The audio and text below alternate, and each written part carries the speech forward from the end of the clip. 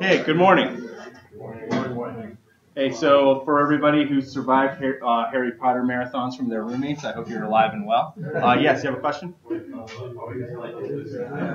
Uh, yeah, I, hold on. I will hand, be handing these back to the next class period, so you will get them back immediately. Okay. I mean, has, has everybody turned in their assignment? Who's here? Okay, great. So uh, in that case, what we're going to be reviewing, uh, sure you guys are familiar with gray code, Karnaugh map, and race conditions, or anybody who's not familiar with those? Okay, good. So this, hopefully that will fly by. And then we're going to be going into the basics of computer architecture and computer organization. So we're building up these medium scale integrated circuits towards an actual computer architecture. So that you're building these system attributes of the computer, which contribute to their logical execution. And then the code that you write, you're able to write code that will be broken down and can be sent through the computer architecture. So that's the end goal. And at the time, end of time, we're going to be discussing computing performance, how you can actually change uh, certain aspects of that, of this computer architecture the computer organization to make the computer run faster.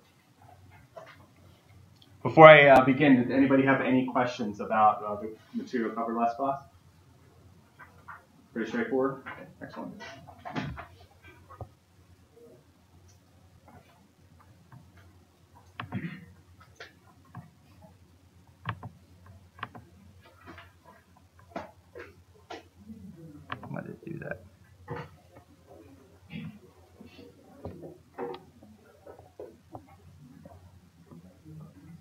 What the heck? Oh, you're at 800. I've zoomed into 800. All right. So, here we are. Okay, so basically, so here in this situation, we have a, uh, what's known as a synchronous up counter. So the whole idea is you have a set of D flip flops, which some of you are familiar with, and they have a clock signal this square wave clock, and this are what these are what are known as positive edge triggered D flip flops. And the idea of it of these is that they only flip at the at the positive edge, and the value is actually a one. So what's going on here is if it's a zero, it just holds like a memory element. That's the goal. And so every time the clock goes to one, it's supposed to increment. So if you have zero, zero, zero, ideally what you have is this value should go up and it becomes 0, 0, 1. So that's the whole idea of the counter. Now, there's an issue with these, is that sometimes you get this thing, these things called race conditions, which we're going to discuss today in class. Um, because of the way the clock works, it goes to all three at the same time. And you have instances where tra- the transitions aren't always the same. So you won't get the, like, if we're talking about the scenario, uh, the one I have here is 0, 1, 1. And ideally we want to get to 1, 0, 0. But because of the way it works, it'll actually start out, it'll, with the positive edge, it'll actually switch the middle one first to a 0. And then after that, because of the way the value is placed on it, it will then get 1, 0, 1. I have the whole transition set here. I'll underline it. And then it goes to 1, 0, 1, and then finally flips the last bit to 1, 0, 0. Now, now this is the key point here. If the output feeds into a sequential system, we were talking about last class, it can't quite tell whether this is the right value, this is the right value, or this is the right value. So how do we, that's, this is what's known as a race condition. We have these switches where you don't, you have intermediate values, and we try to minimize those. So in a combinational system, you just get your input and you get your output immediately. So you don't have to worry about that. But in sequential elements, this becomes an issue. So one way this is done is done with this thing called gray code.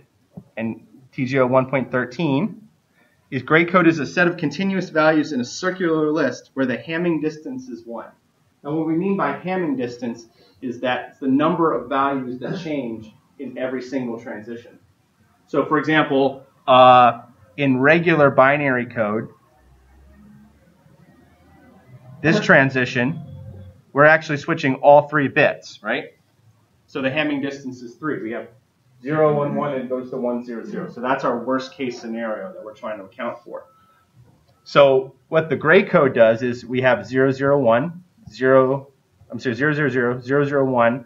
And then if we go to 0, 1, 0, we're actually changing two bits. So instead of what we do is we flip the middle bit. And what's happening there is by only switching one bit, we avoid the scenario we were just talking about in the synchronous up counter. Oh, do I need to move up the uh, truth table? Okay. Um, I'm just trying to make sure that I get it so that way everybody can still see the topical guide objective, which is at the top of the screen.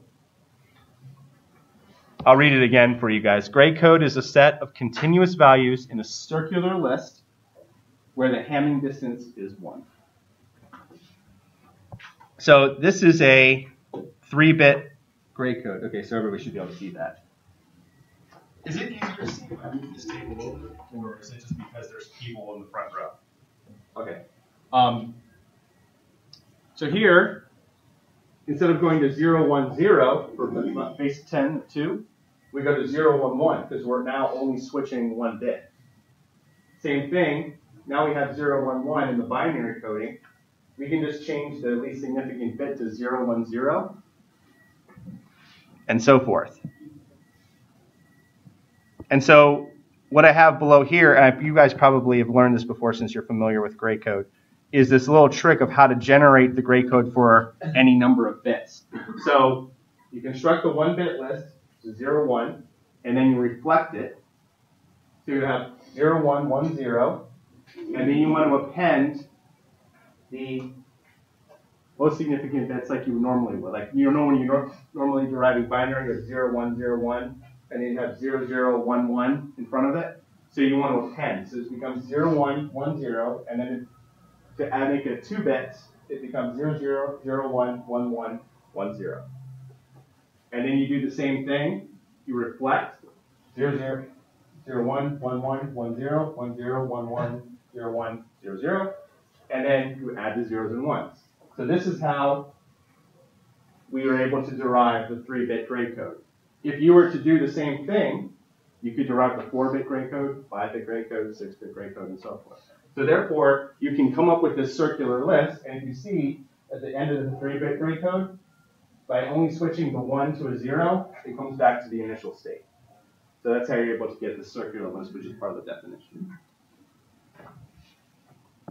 And it turns out the properties of gray code are very, very useful. We're going to be using them a lot in developing state machines, particularly with Karnaugh maps in a little bit. But I've come I've listed here a couple of other examples. Are you familiar with the Towers of Hanoi problem?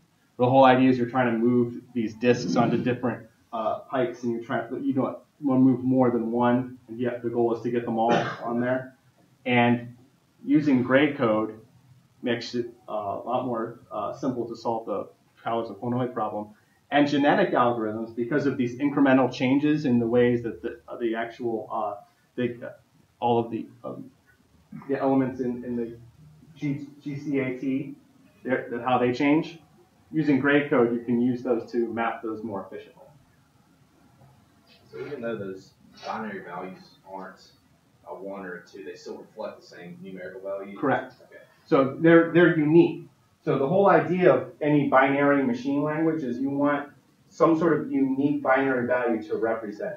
So you're never going to get 011 and then 011 here. So here, 010 is always going to re reflect 3. And then here, 4, 5, here, 6, 111 is always going to reflect 6. So as long as it's unique, it does reflect the binary value. Any other questions?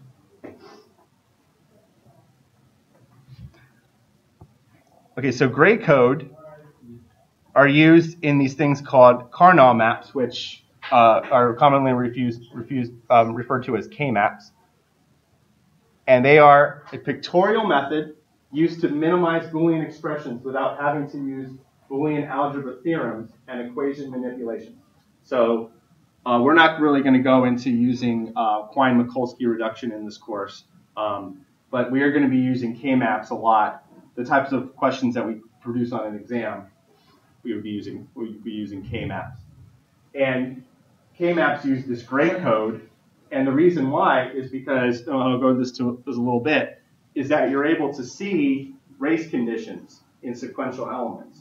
And by using, by making sure that the uh, overlapping elements within the K-map are not disjoint, we can reduce these, we, we can eliminate these race conditions and ensure that the value that we're sending out to the sequential state machine is correct every time.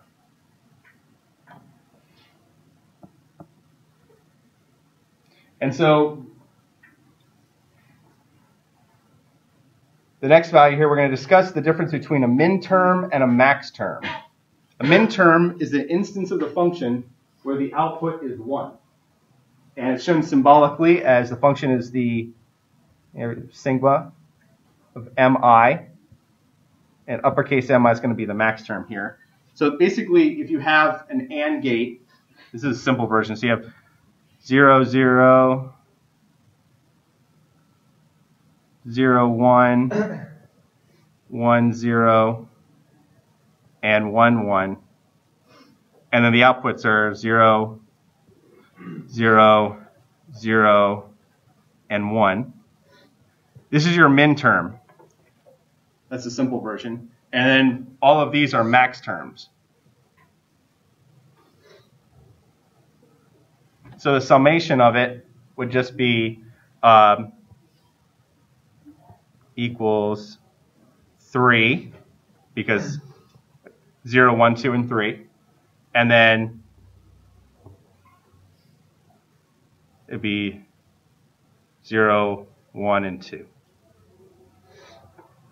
And then you can use that to actually derive the AND function in a very simple uh, Karnaugh map.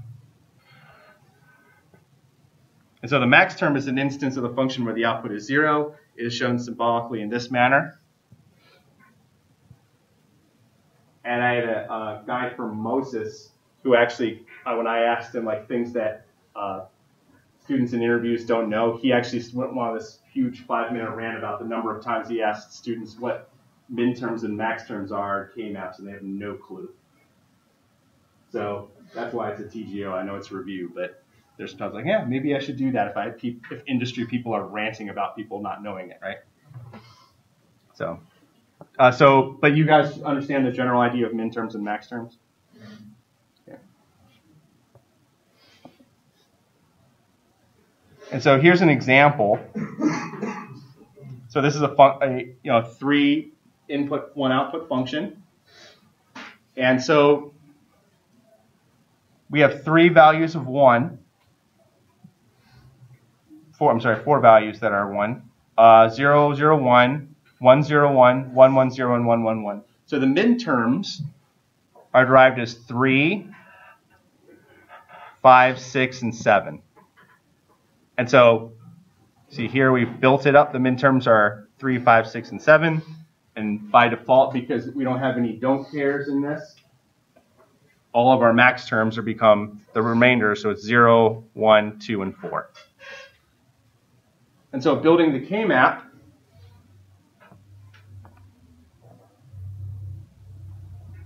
this is the actual Karnaugh map itself here.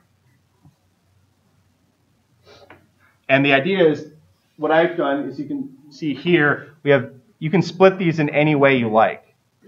So here you have A, B, and C. A is this column going down, and BC is the column going across. And we count this way 0, 0, 0, 1, 1, 1, and 1, 0 using that gray code.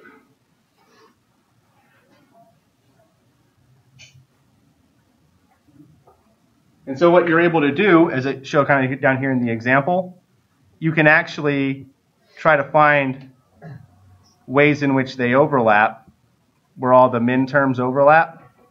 And based on that, you can actually derive a function that can serve as your circuit.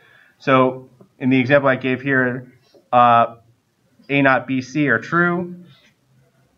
These two, got these two and these two, right? And so these are these are true always when BC is 1, 1. this is true when uh, it's AB, just these two for the green, and for yellow, it's AC. And if we were to do the Karnaugh map uh, like this, where I circled these two and made sure they weren't uh, disjoint, this could be uh, BC, sorry, right's a little slow, or A, B or C.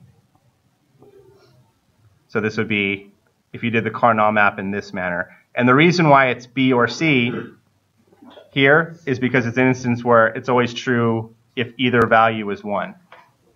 So you're able to look at it that way, and then from there derive a circuit. Yes? When we did originally, we could only do uh, like 2, 4, 8. So we can do 3 if we make it uh, logically if it's yeah, this is a valid Karnaugh map. Yeah, it would be weird if you did. What's that? We never learned it like that. Okay, well you're learning it like it now. so wait, so if you you can only use two four, meaning that uh, you did a Karnaugh map and you could only have two four, eight, and sixteen inputs For the, the groupings. for the for the It grouping. is a bigger map. Right. Well, I mean, we're going to go into bigger maps, of course, but you know, you can still derive the function this way. Okay. Right. Hmm, hmm, that's weird. Okay. Well.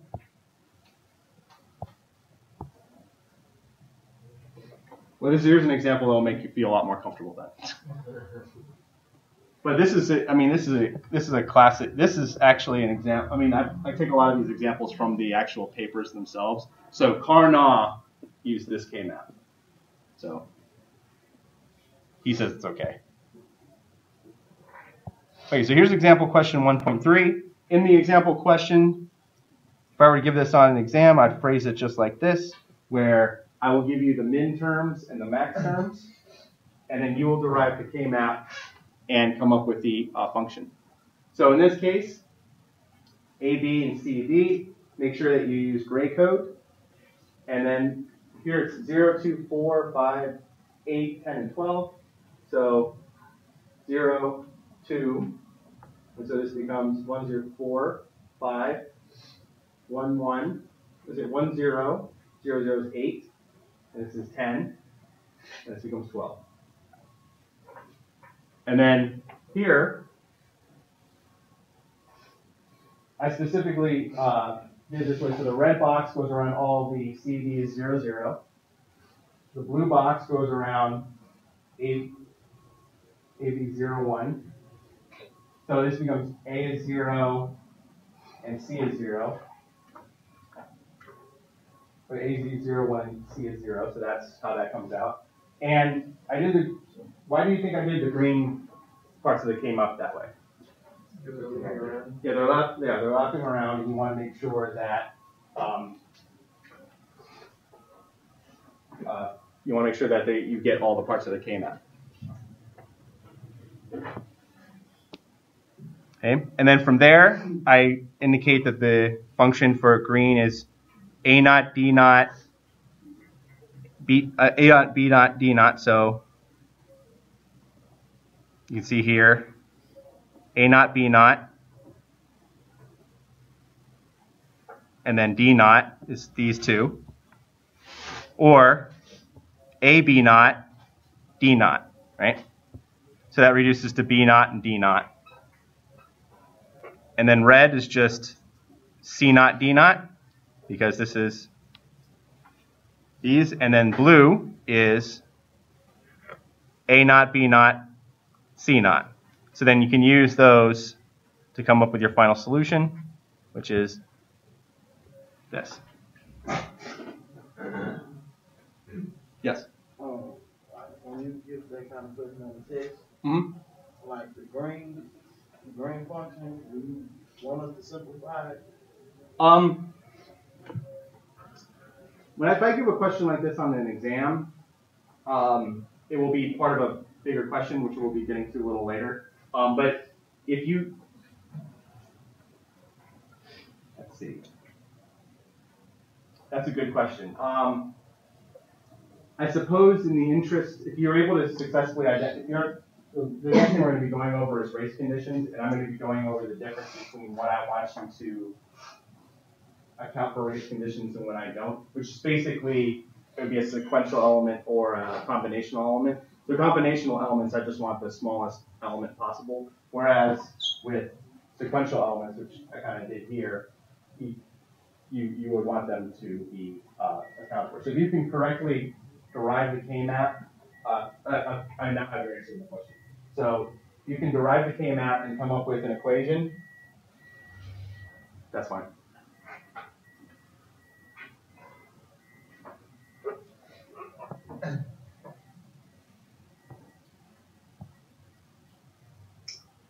Okay, so here, uh, TGO, oh, so does, does everybody uh, understand this before we move on?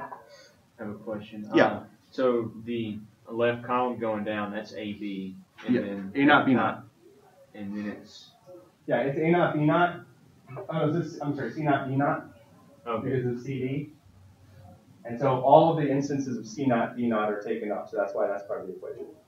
We're here, um, and I have these wrapped around so that way, we, we, we're, I'll be going over this next, so, uh, but the whole idea is we want to make sure that in the instance of avoiding race conditions, they are not, they are not disjoint, meaning that if I only had these two and they wouldn't be connected to these at all, then that's known as a disjoint graph. All right, does anybody, does anybody not know what I mean by disjoint? Okay, the idea behind disjoint is, let's say I did this. Say I did this map, and then I did these, this, and that. As so you could use those to derive a function and then use Quine-McCluskey to come up with a reduced function. But disjoint means that they're not overlapping, meaning that they're not joints together, they are disjoint. And what happens, the property of it being disjoint, and I can actually scroll down to the whole uh, race conditions and disjoint to explain this a little more. The race conditions are like what we described at the beginning of class, where you have those flipping and the ones and zeros and an up counter. Since asynchronous circuits do not have discrete timing signals to regulate circuit operation, eliminating race conditions is a very important concern. So what happens here is this in this problem here. Let me. I'm going to scroll up and then I'll scroll back down. I promise. Um, this is a disjoint graph. If we extended this this blue circle over, then all three of them are going to be connected, and then they're joined together. So this is an instance where you would have a race condition. So I'm going to scroll back up just a little and then go over the definition of race condition. A race condition is the behavior of electronic or software system where the output is dependent on the sequence or timing of other uncontrollable events. So the instance of the uncontrollable event at the beginning of the class is the up counter having to switch from 0, 1, 1 to 1, 0, 0, and we had bad timing on the outputs.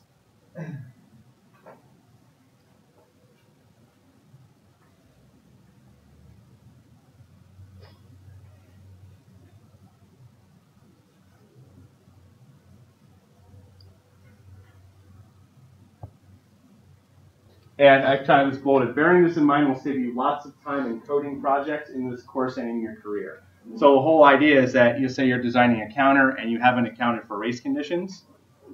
Well, you're going to get weird outputs propagated further on into your circuit, and you're going to have a hard time troubleshooting. It's like, wait a minute, why does this ALU give me bad outputs? Well, it's because of some synchronous circuit that you didn't properly account for race conditions.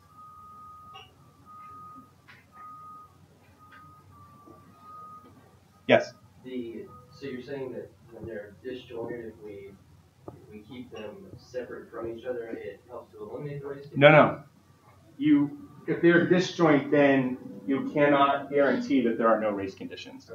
How, how? So, TGOS 1.17, because this is answering your question. Race hazards are easy to spot using a Karnaugh map because a race condition may exist when moving any pair of adjacent but disjoint regions circumcised on the map. Meaning that if there if there is a region that does not connect to any other region, there may be a race condition. Whereas if you were to connect them, then the race condition can be guaranteed to not exist. Does that make sense? So they're easy to spot on the Karnaugh map. And so, so here we spot them on the Karnaugh map. There it is. Now, I can get rid of this in one of two ways. I could extend this here, or I can do another one here, or I could even do, or I even can extend the red one so that way those are taken up. So there's multiple ways that you can look at it, and if you're in the instance of trying to read, you know, in the case of trying to reduce the size of the circuit, then you have to account for all of those. Okay, does that answer your question about race conditions? So Karnaugh map is really easy to fix. Yes. So is it easier doing the larger or the smaller, the shorter units? It depends. It really depends on uh, they, ultimately, in this case, it's easier to just move it over. Um, in this case, if you were to move this up, then what happens is now all the instances of A are covered so instead of A instead of instead, except for C and D1 would not be covered by that. But this could, could potentially cover almost all of your um, uh, min terms. And we're going to be going in, into a little bit about uh, what happens. You're trying to cover as many as possible, and what happens if you have an instance where uh, a region is uniquely covering one of the elements. Okay, so these are um, known as, we're going to be going into prime implicants and essential prime implicants in a little bit here. So that'll, that'll go answer your detail, answer your question in more detail. Any other questions?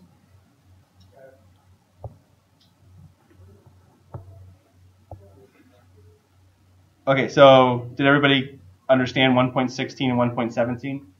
Okay. So example question 1.4, given the following Karnaugh map, find any race conditions, describe how they may be eliminated by drawing the updated K-map, eliminating the hazards, and stating the updated function. So I've given you this K-map. So I've essentially probably solved it for you by answering your questions, but I've kind of I've taken the liberty here. AC naught, AB naught, and blue is BC D naught. Therefore, the original equation is just the combination of all of those three: A naught, AC naught, A B naught, or B C D naught. However, there exists two race condition hazards since the blue region is disjoint and adjacent to the red and uh, sorry to the red and green region, right? So you could extend that region to join with the green K-map, which is the green region. Now it's no longer a race condition. You could extend the red one. As long as you show your work, it's. Let me uh, scroll down. I don't on an exam. I wouldn't expect you to go into this much detail. Like I, am going into this much detail specifically to show you every step I went on in my head. Um, so here, an example of where I've extended the red If we're to move state 1110 and move 0101, the output is meant to remain at 1. Right? However, due to the underlying circuit implementation, it may be possible to, oh yeah, so I'm sorry, I'm describing what the race condition is here.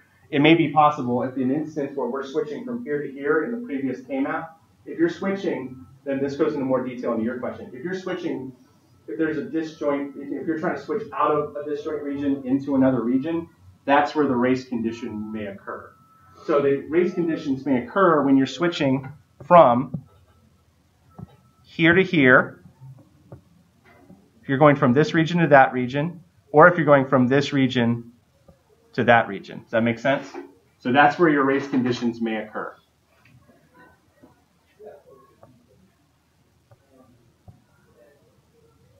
And so I here I show the solution by doing this. So on an, I, an exam type question, what I would expect you to say is this.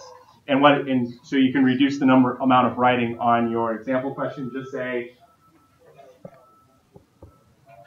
here's the state the uh, two places where the where there could potentially be a race condition. State to be from one one sorry, yeah, one one one zero, that's how I described it, to one zero one zero, that's a potential race condition. And then from one one one zero to one one zero zero is the other potential race condition. And then part three is update K-map. So the question I have it phrased is find any race conditions, describe how they may be eliminated, so that finding the race conditions means state which ones they are, and then update the K-map in that manner. And then the last part is state the new equation. So you can update the equation in that way, and I've taken the liberty of reducing it for you. But as long as you actually correctly state what the equations are, you should be fine. Does anybody have any questions about that? So if they can all be connected, we, we need to. Yeah, if I specifically say, and if I specifically say it's a sequential element or race conditions need to be avoided in the problem, and I'll, I'll, I'll have two examples of questions later where I shall, will show you the difference in how I phrase the question. Yes. So just per this example, you extended the red to mm-hmm. wrap around, but you said it might be easier to extend the blue. to It might- red. Yeah, that would be a that would be a correct answer on an example. Yeah. That's why uh, I should say this may be fixed right here. So if you're looking at this on the video later, I this may. It, a lot of times there's not one just one correct answer. Sometimes you have to. There's this is a good example where there's multiple correct answers. As long as they're no longer disjoint, then you have a correct rate where the circuit has prevented the race condition. Any other questions?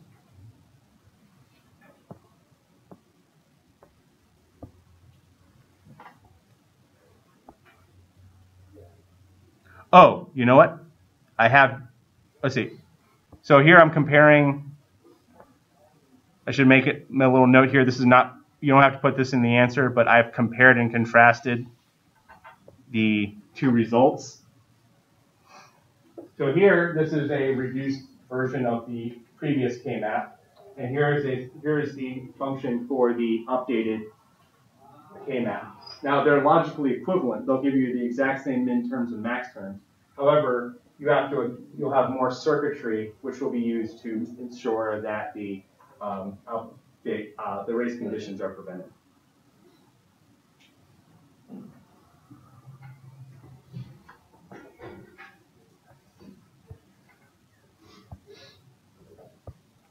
Oh, I'm sorry. I probably should have asked. Does anybody have any more questions about that before I move on? Yes. You're doing one that's not, uh, the, like the three or the, the five or six order. Is there any difference in, in making one like that, like a, a prime tip those, as it would be just one of two or four or anything like that? No, it, it's it's really no different. Sometimes you just have uh, an instance where you have uh, two on one column and one on the other, and the, you still have to use gray code. So, for example, if you were doing uh, eight and four, you would use the 8-bit gray code on one side and 4-bit gray code on the other. But it, it would it still works. It definitely works.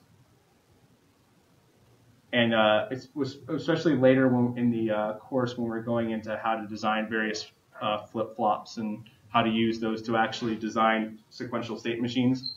Those are very, actually very common because you're going to have the four. Let's say you do four four state uh, four state machine, and you have to have the edges. You can only represent that with uh, one variable because you're representing the binary value to change between the uh, states. And this would be section four, so you'll learn way more than you probably want to about this later. But you will need to be able to do K-maps to do that. Okay, any other questions? Okay, good. Okay, so um, in this course, we're going to be building up towards this thing called MIPS, which I've kind of alluded to a couple of times. It's called a microprocessor without interlocking pipeline stages. It's an example of a digital computing system architecture that we're going to study here. And I've listed the objectives five, six, and seven that I expect you to be able to meet in this course. And a lot of this kind of goes into uh, knowing the architecture of a computer system, knowing how to transfer information between the arithmetic, logic unit, memory, the registers, the data path, and we're going to touch on memory hierarchy and virtual memory design towards the end of the course. And objective seven, knowing the relationship between the hardware architecture and the assembly language instruction set. So you have your code. Um, let me ask you this question. How many of you have not coded in C before? Okay, so for this course, um, I, I, was brought to my attention yesterday, there might be some of you who haven't. Um, basically, we're going to be going over very, very simple code snippets of C. Uh, have any have all of you coded in Java? Is there anybody here? Okay, so more people have been coding in Java. All right, so I'm going to do very simple examples of C code. And the idea is you should be able to know, did, how many of you know what do not know what an array is? Okay, so everybody knows what an array is. So you, I will say this is an array, this is an integer, and we're going to be relating. I'm not expecting you to be masters of C in this course. So I'm just trying to make sure that what I, uh, the course I've prepared is uh, I'm not going way too over your heads. Um, and if there's any instance when we go over C code later and you don't know what the heck I'm talking about, feel free to come to my office hours, talk to me. I'll be more than happy to walk you through it.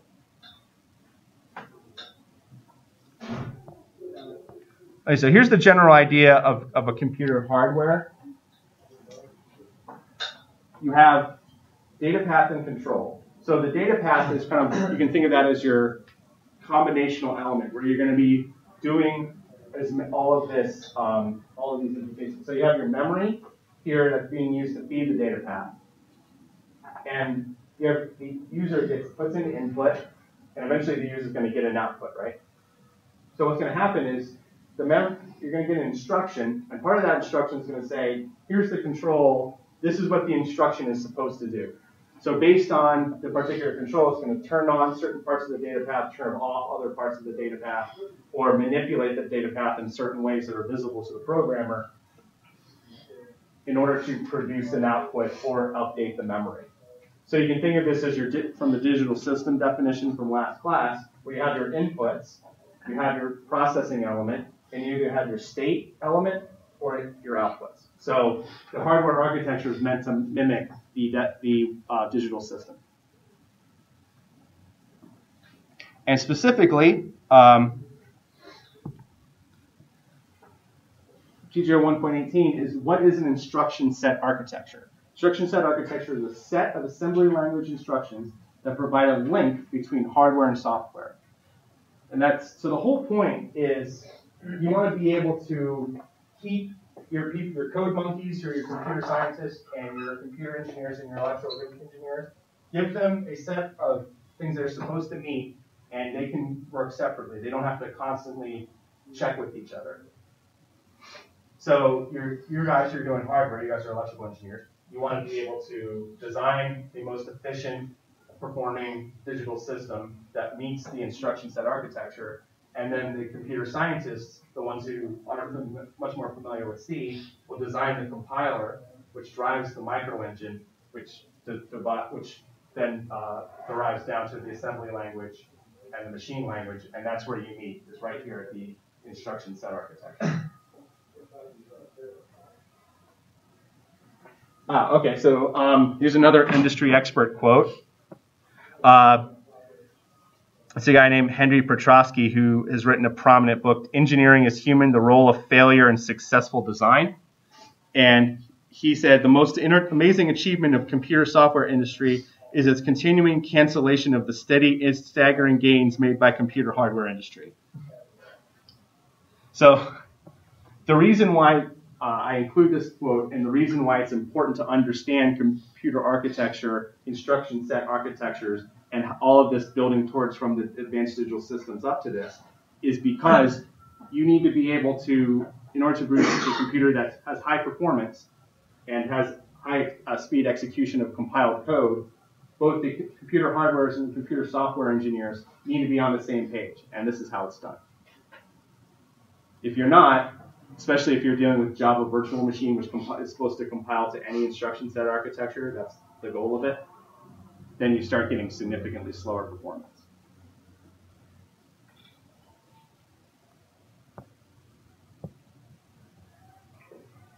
Okay, so I've kind of already talked about these already. So instruction set architecture is designed to extract the most performance out of available hardware technology. So basically, let's say I'm a I'm your customer and I want to build a certain type of computer. And you're like, all right, hey, we can do this because it's very fast, high performance. And you go into this whole thing. He says, whoa, whoa, that costs way too much. There's no way in heck I'm paying for that. Now you have to make good design requires good compromises. So now you're trying to reduce the size of, of the chip, but still be able to maintain this high performance. And you have to, these are the kinds of things you have to worry about. And hardware reuse and being able to make the most efficient use of the, uh, making the common case fast, so to speak, is going to be a very important point in, in design. And so uh, I've listed here uh, some examples of instruction set architectures, which I'll abbreviate as ISA. RISC, which is what we're going to be learning in this course. Reduced instruction set computer. Probably enjoy the fact that it's reduced. Um, so that, but the whole idea is you're trying to make, take a smaller set of instructions and perform the exact same uh, code, which means you're going to do a lot of hardware reuse, a lot of code, of, uh, yeah, a lot of instances of register reuse, and so forth. Complex instruction set computers, we're going to be uh, studying briefly here, but the whole idea is that you can actually build uh, floating point elements, floating point arithmetic logic units, regular arithmetic logic units, and try to execute multiple instructions simultaneously within the same data path. Um, but it requires significantly more hardware overhead, but it can go a lot faster. So there's trade-offs. And very large instruction word, VLIW, is what happens when you're trying to make instructions that can account for up to 128 bits. The data path that we're going to be studying, the reduced instruction set computer for MIPS is 32 bits, and every instruction is 32 bits. In complex, instru- I'm sorry? Very large word. It's very large instruction word. And complex instruction can have varying lengths of instructions, which makes it even, which makes the controller um, more complicated. So when we get later on in the course, we start talking about things like pipelining and data hazards. You're going to see that every time we incorporate something to try to make the computer go faster, it requires a trade-off. Pipelining, we can have up to five instructions in the same next data path at once. Now you have to worry about data structural and control hazards requires more control, excuse me, more control hardware. So, but we'll go into that more in section uh, five and section six. But for now, the important thing to know is that assembly language is a symbolic representation of machine instructions, TGO 1.19, and machine language is a binary representation of machine instructions. So how many of you have actually dealt with assembly language? Like five or six of you. Okay, so I'm going to screw up just a little bit. You should still be able to read the definition. But basically, let's say I have a very basic some basic C code. Let's say I say A equals, sorry, it's taking so B plus C and then add the semicolon. So how do I get from this C code down to translating it to binary? So the assembly language instruction, which is the symbolic representation, is going to be the symbolic representation of how it's going through the hardware. So this is an add instruction. And then S2, these are dollar signs, dollar sign S2, dollar sign S1, dollar sign S3. And what the symbolic representation means is I'm taking the values that are stored in these two registers, S1 and S3. In this case, the compiler will say, I'm going to store the values of B and C into those registers. And then I'm going to add them in the arithmetic logic unit and then store them in this register, which is S2. So that is the symbolic representation of the instruction. Now the binary value of the instruction these first six bits here, this 000000, that is what's sent to the controller. It says, all right, this is the specific instruction I want to do. Now go and do it. The next five bits, one zero zero one zero. I mean, you'll learn this more, but that's the actual register representation of S2. 10101 and the next five represent the two values we're adding and storing into the registers. And then shift amount, which we're going to be going into much more detail later. We're not shifting at all, so it's all zeros. And then these last five bits are known as the function, and we're, we're going to be going into much more detail. But the, the whole idea is now we've taken some code, we've broken it down symbolically, and now we actually have a binary value that once we get into the data path of our digital system, will actually execute instructions. Yes? So to clarify, you've got uh, pre-stored information for S1, S3, Yes. right? Right. When we when I um, down here when I talk about MIPS in a little more detail, um, I'm going to be alluding to the idea that MIPS is a compiler-driven encoding of the microengine. And what that means is the compiler is going to load all of the information that's pre.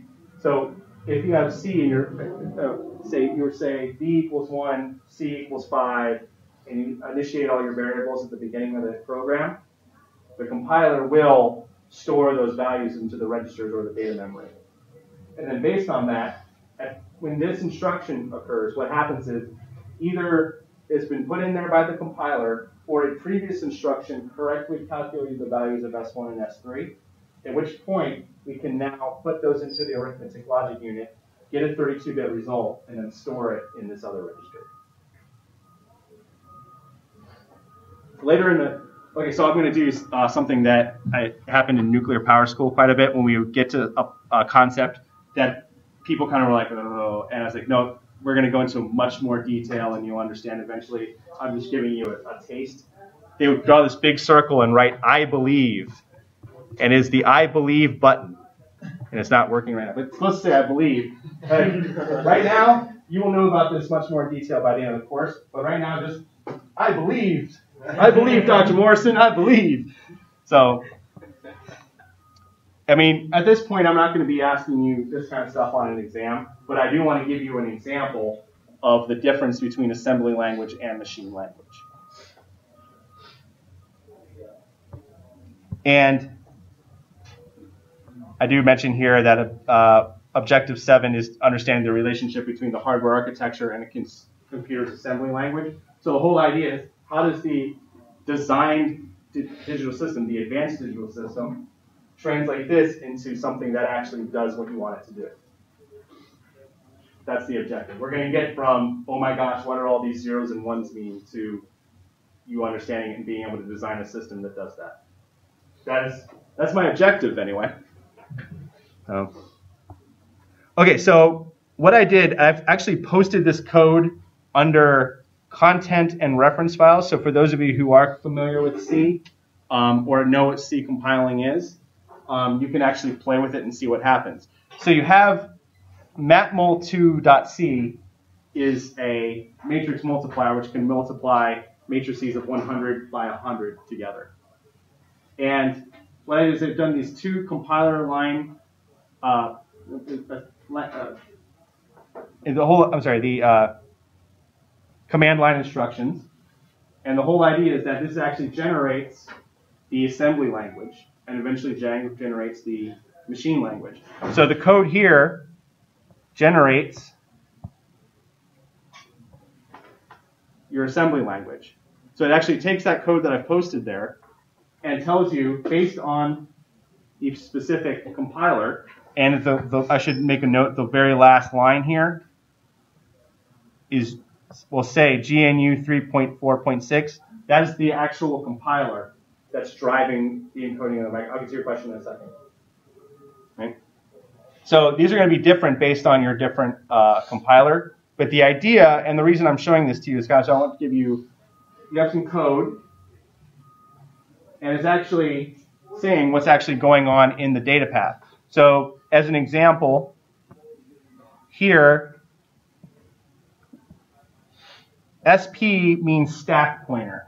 Stack pointer points to the place in the stack where your code is, where the instructions that you want to execute are. So first instruction says move down 112 bits, and that is where your code begins. You don't want to be executing code above that because that's that's not your code. That's other things. Um, if you ever decide to take a software security course, that's actually what's known by making. If you can uh, upload a virus that changes this number, it'll actually do something called a stack smash or a stack overflow, and actually screw up all the rest of your code.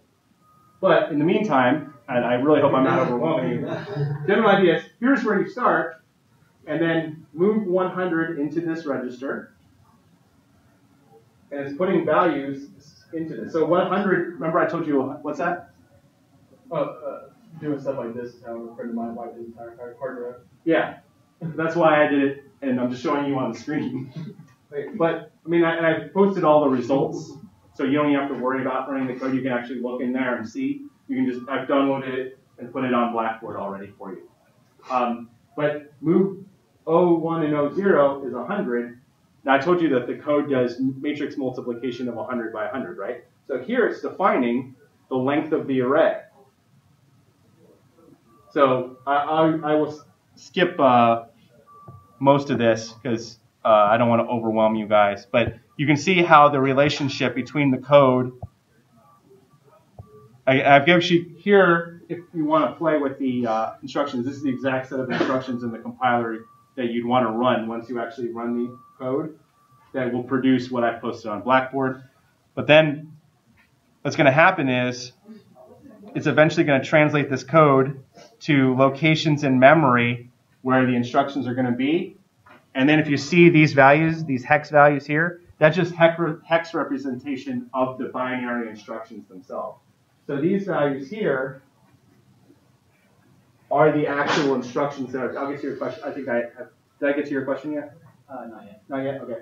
So these instructions here are the binary representation of the code you're about to do on the specific machine that I ran it on. Okay. What's your What's your question?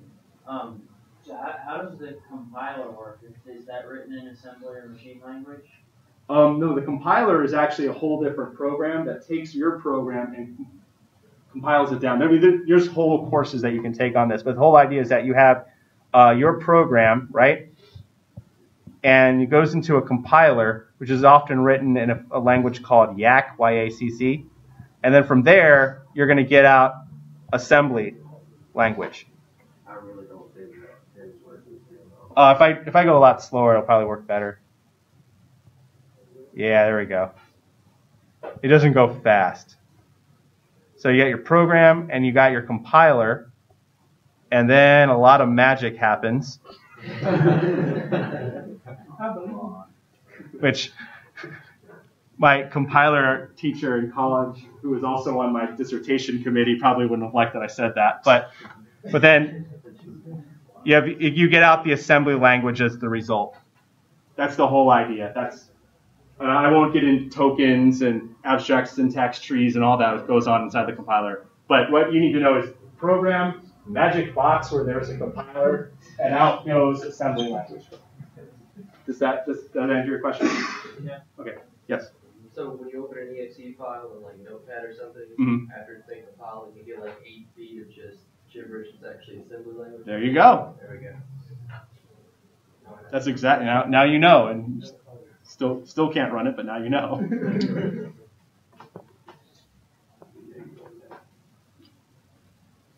okay, so um, uh, for example, something that I uh, teach towards the when I in the class about uh, exceptions and uh, I want you to understand the whole. Basically, the, off the talking about the exception program counter and the save register, but the, those values that come out, those are the values that come out when you get the blue screen of death. So oftentimes people see that and go, I know exactly what that means now, and that should be the like things like that should be the, kind of things that you're going like, wait a minute, that explains this on a computer. That that means it's starting to make sense. So, okay, computer architecture versus computer organization is 1.20. Computer architecture is system attributes of a computer which contribute to its logical execution and are visible to the programmer. Now, what I mean by visible to the programmer means that you can put something in code and get a result, and you know how it's being done. So if you write, if you have, uh, there's a program called PicoBlaze, you can actually write assembly language, or if you're uh, sadistic enough, you can actually write the actual binary representation. Um, that means it's visible. That means you know by doing this set of code that you will get this set, these set results. So the instruction set is an example of computer architecture.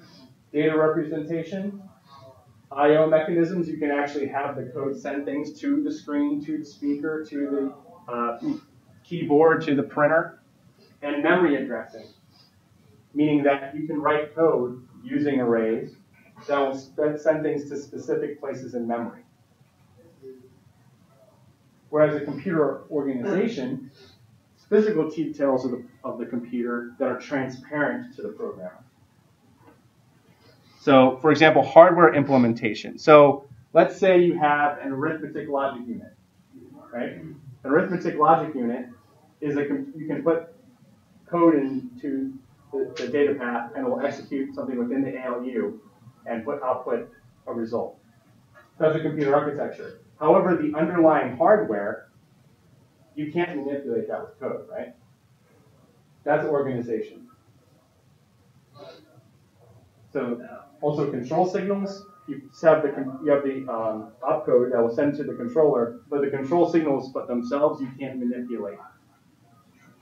The memory technology is that you, know, you have a, a memory cache you can say, I want it to go here, but based on the technology, you can't control how fast it goes, right? You can't do that with code. And another one, ALU CPU, uh, CPU design, uh, are examples of organization. Now, I can tell you that the third question on your exam will be define and differentiate between computer architecture and computer organization and give me three examples of each.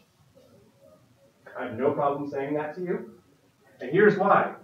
My advisor, Dr. Ranganathan, has uh, a, the student who was before me go, went to go at Intel, and he asked that exact question.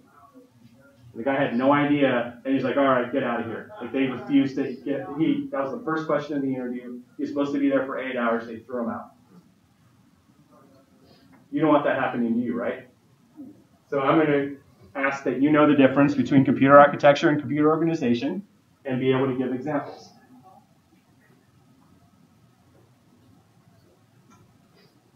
Yeah, people can be really weird. they flew them out, they paid for his flight and his hotel and just threw him out after one question.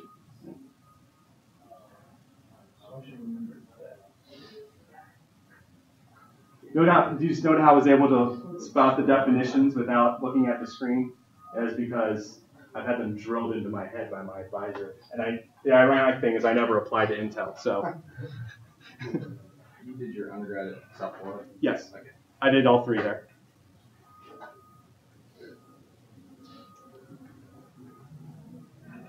Oh, and I have a little spiel here. So notice how I have visible and transparent listed there? I have this whole thing about don't say invisible. Can you see the computer? It, is it invisible to you? So if you write, if you say computer organization is the invisible part of the computer, what does that make you look like? Like a, like a, crazy person, right? like I see unicorns in computer organizations, you know. Transparent is the technical term. So make sure that you don't like if you say invisible, you'll lose a lot of credit. So.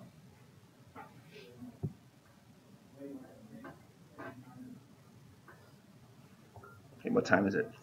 I have changed the clock so that way it is the correct time, by the way. Okay, so now I want to give you guys a kind of a brief overview of what this architecture is going to be. what did I? yeah, yeah. There you go. Harry Potter does not driving invisible. Oh, okay, yeah, I forgot. This is true. All true. Things. Does anybody have any? Because I know we're kind of going on to what going in more detail about MIPS, and I know I just threw a lot at you about computer architecture. So, if anybody has any questions? on What's that? Check on the. Oh, you mean after, for after class?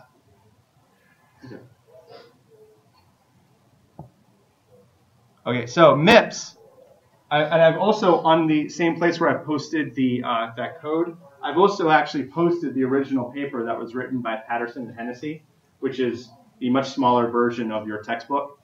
It's like six pages. But what MIPS stands for is microprocessor without interlocked pipe stages. So if you recall, last class when I was talking about the tyranny of numbers, and they thought that every part had to be connected to every other part. So even though Jack Kilby had gotten rid of this, there's still this idea that every stage within the data path had to be connected to each other through this interlocks. And so what they did was said, we want to get rid of these interlocks and use these pipeline stages instead. So they're breaking up the data path into sections, and they have this section, instruction fetch. I'll be discussing the, those five here in a minute. Instruction fetch. Tell me what the instruction is. And then next clock. Instruction decode. Tell me what part is the opcode. Tell me which part goes to the registers. Tell me which part does breaks it down. Next stage, execute. Send things to the arithmetic logic unit. Stop. Next stage, data memory. Do I need to upload anything to the data memory? Or last stage, am I just going to send it back to the registers? Like that add unit, that add instruction, fetch the add instruction, decode it using the opcode, execute, get me those two variables from the registers, put them in the ALU themselves, give me an output. Stage four, does it need to be sent to data memory? No, because that sends things back to the registers. Fifth stage, write back, puts it in the registers themselves. And so the main goal of the design is, the, the main goal of MIPS is the design of high performance in the execution of compiled code. So the whole goal is you have some compiled code. We have gone past where your question was. The compiler has already done stuff. right? And then MIPS is going to break that down and execute it with high performance. And that's how we're able to use this instruction set architecture by having the code down to the ISA and then from the ISA to the hardware. Yes? Uh, in, I don't want to say computer today because they're getting a little crazy, but in just say the, the like Intel 484, Mhm. would a computer like that have one data stream? So like what if it's broken down, any program is broken down in assembly language, it's turned into one stream of ones and zeros? Okay, so what you've touched on is a problem called multiprocessing. So you have multiple paths going through multiple uh, instructions. CISC, uh, complex instruction set computer, actually can do multiple instructions at the same time with the same set of ones and zeros. But what happens when you have multiple instructions going through multiple data paths, some of them ex- requiring the same registers at the same time? That's going to be section seven that we're going to go in section seven or eight if we get if we get there. But the whole idea is that you have to make you have to do a lot of hazard detection checking. So that kind of becomes a bottleneck on being able to use multiprocessors to be able to improve the performance of compiled code. Is that one of the main differences between front and circular those buses? Yes. And so the basic philosophy of MIPS. Yeah, that's why circular much better. What's that? That's why circular is so much better. Indeed. You have to do the hazard when you're hyper-threading the. Exactly. Cool. Exactly right. Okay. Now you're, now you're learning the operating system. So I take it you're a computer engineer? Yeah. Okay, the reason I know that is because the, only the computer engineers are required to take operating systems. Well, and I I just hope, I haven't taken any of the classes. oh, right. The reason I'm saying that is because I hope that the double E's who don't have to take operating systems are sitting there going, hyper-threading, circular buffers, what is that? don't. We were just going to, which since you were up watching seven Harry Potters last night, or your roommates were, um, I was in my bed listening to Bobby scream for four hours. it, it might as well it might as well be the same thing as right. Okay, so the basic philosophy of MIPS. What time is it? Uh, okay, is to present an instruction set that is compiler-driven encoding of the microengine. Thus, little or no decoding is required. Right. So the whole idea is now once you have the compiler, you've actually broken it down, and you can. The only decoding you need to do is take the parts of the binary representation and send it to the control unit, send it to the registers, and so forth. You used when you had to deal with these interlock pipeline stages, you had to decode every stage every single time, and that significantly reduced uh, the performance of the computer.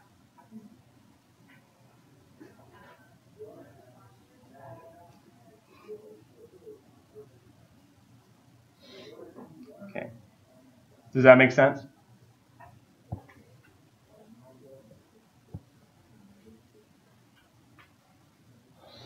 I feel like I put too much in there. So, even simple both instructions. Um, I want you to cut off 124 here. All of this is not supposed to be part of it. I apologize. Um, the RISC architecture is simple in both the instruction set and hardware needed to implement that instruction set. Although the MIPS instruction, oh yeah, no, cut it off here. Sorry, after one sentence. The rest of this is supposed to be another paragraph. I'll update this in my notes. The RISC architecture is simple in both the instruction set and the hardware needed to implement that instruction set. So not only is it trying to reduce the, the so you have code, it's compiled down, it uses a small number of instructions, and you're trying to make a small data path to implement all those. You're just using a lot of instructions to get the instruction done. So for example, uh, taking multiplication and using a bunch of additions to implement it. And in section three, we're going to be going over different uh, multiplication and division algorithms that use that this is done. So the TGO should only be the first sentence. Although MIPS has a simple hardware implementation, the user level instruction set is not as straightforward, and the simplicity of the user level instruction set is secondary to performance goals. Meaning that there are times when, um, for example, there's this instruction called add immediate, and that's like what happens if you have x minus 5. The immediate instruction is the actual number. Now, they're trying to achieve high performance, so you would think, before this, you would think that there would be a subtract immediate, right? You want x minus 5.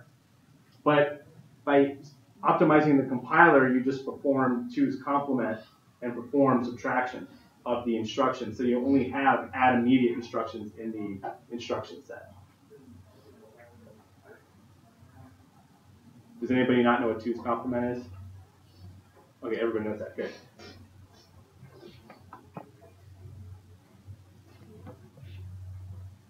Okay, this is actually the whole instruction because this is a very important concept about um, data may only be operated in registers and load stores.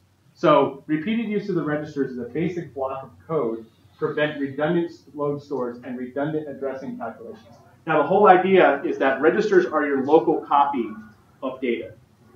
They're fast, you want to use those, and they are volatile, meaning that if you were to shut the computer off, you'd lose that information. So what would you the non-volatile is your data memory. And the whole idea is that once you get that, you're going to be loading it up into the data memory after you perform the high-speed calculations. Does that make sense? This, this allows higher throughput since more operations directly relate to the computation that directly relate to the computation can be performed. So if you remember that example where there were load instructions, you actually calculate the address in data memory, get that information, and then load it into a register, and then you can use it to perform an operation. But if it's already in the register, you can just put it in the ALU, get the operation, store it in the ALU, and be done with it. So it's faster. And a simplified uh, pipeline structure has a fixed number of pipe stages and the same time length. So the whole idea is that you have load, add, so you have three types of instructions. We'll go into more detail later. But they take different amounts of time, and you use buffers to make it so that way each clock pulse has the same amount of time, therefore eliminating race conditions.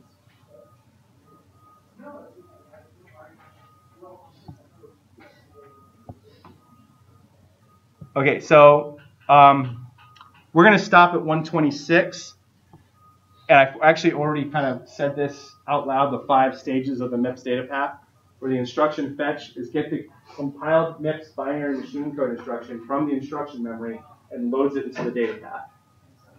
Instruction decode decodes the machine instruction and generates the control signals, determines the appropriate registers and memory location, and the necessary operation. So it's taking that binary value, getting the uh, opcode, the different registers, potential immediate instruction, and so forth, and getting that value. Execution performs the operation dictated by the machine instruction. Data memory so it's doing that load and store operation. Let me scroll this up just a little bit. If the operation indicates that some information must be stored in memory, it will be done in this stage. So that's storing it to the slower memory. Otherwise, you don't have to worry about it. And then write back, if you want it right back to the registers, it's done in this stage. Okay. So we did uh, 1.3 and 1.4 on the example questions, right? Okay, so your homework due, that's due next Tuesday is uh, T. I think this one. It's going to be 1.13 through 1.26.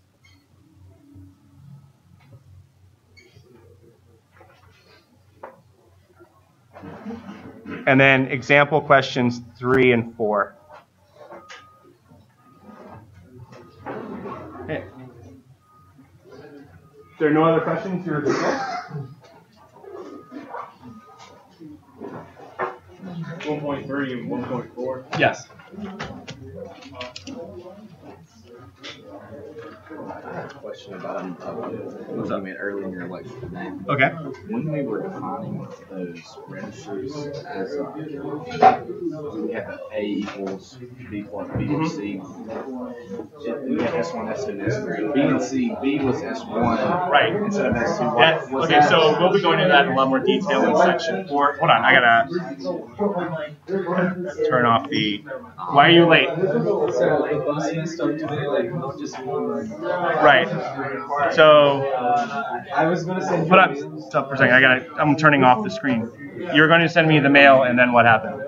I was gonna, but I was standing in line. If I went back,